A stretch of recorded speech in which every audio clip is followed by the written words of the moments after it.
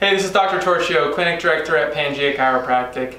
And uh, today we're going to be talking about four simple stretches that you can be doing if you're suffering from neck pain. And you can share this with other people or friends or family that you know, those people suffering from neck pain. Four simple stretches, they literally can change your life if you implement these and you do these every single day. I know you'll get some great results.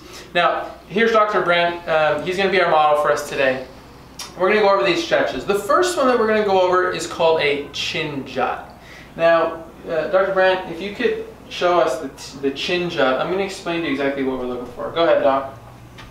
So what he's doing is he's, he, he's emulating that if he's sliding his chin across the table, forward and then all the way in, and he's sliding forward and then all the way in to almost give himself a double chin. Now when you're doing this stretch, it's not an exercise. It's a motion glide. Watch my hands as he does it. It's a motion glide of the skull riding on top of the spine. That motion that Dr. Brent is doing, and I want you to do, will help get some uh, some biomechanics and once again motion back in the top part of the neck. Sometimes you'll even hear those bones click a little bit as you go through that motion. Okay, that is one of the best stretches you can do for neck pain. Second stretch that we can do for neck pain uh, Dr. Brent, we're going to do a lateral stretch. You bend your head to one side, and Dr. Brent, take your hand up the same side, and he's gently guiding and pulling that direction. We're stretching all of the muscles on the opposite and lateral or outside part of the neck. You'll feel that all the way down to your shoulder. Dr. Brent, let's switch. Then he switches and goes the other way, and he's going to feel that stretch all the way down from the back of his ear down toward the shoulder. Do that in both directions. Don't push it, but do it in both directions. Don't just do it to the one side. If it hurts, don't keep doing it. Just back off and lightly do that stretch. From there, we're going to go to the side and then we're going to look down toward your knee. Dr. Brent, same arm, he's going to pull. This is going to hit another angle of some other muscles more towards the back of the spine.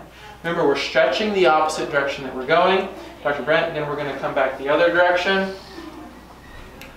Bending over and then angling down. We're getting different muscle groups on the back side of the neck. These are the muscles that get aggravated when you're on your computer and you're texting all day. Good? All right. From there, we're going to go into a front neck stretch. So for this one, you have to have your mouth open. So Dr. Brent's going to keep his mouth open. He's going to angle over, and then he's going to look back. And when he gets back, he's going to close his mouth, and he's going to feel a big stretch on the front part of the neck, all the way down to the collarbone.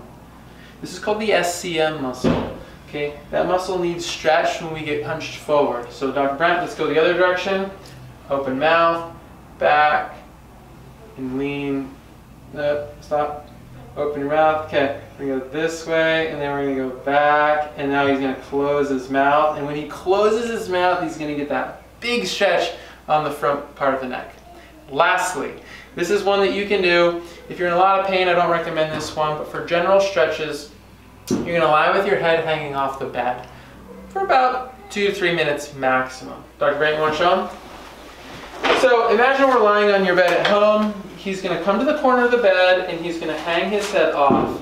Now, what you can see is happening is that his neck is coming into a curvature, which is the natural curve of the neck. And what we're doing is we're going from here on the computer and cell phone all day to opening up and extending our head back. This is one of the only ways that you can really get that natural curve back into the neck. These four simple stretches are extremely powerful and I highly recommend you doing these even if you don't have neck pain. If you do have neck pain, give us a call, come on in so that we can do a thorough assessment and help you on your journey.